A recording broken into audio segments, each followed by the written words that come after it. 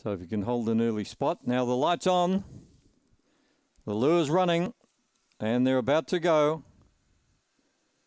They're off and brilliantly away. In box two was Finis Looper and cleared the field to lead from Nancy Lee.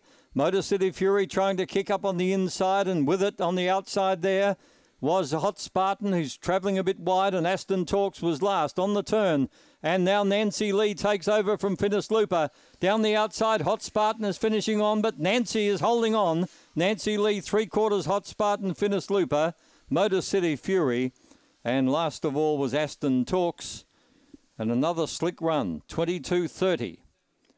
By gee, the staff here at Murray Bridge have got this track in super condition. 22.35. They really do get this track right. The local staff, they're very proud of uh, of their venue. 752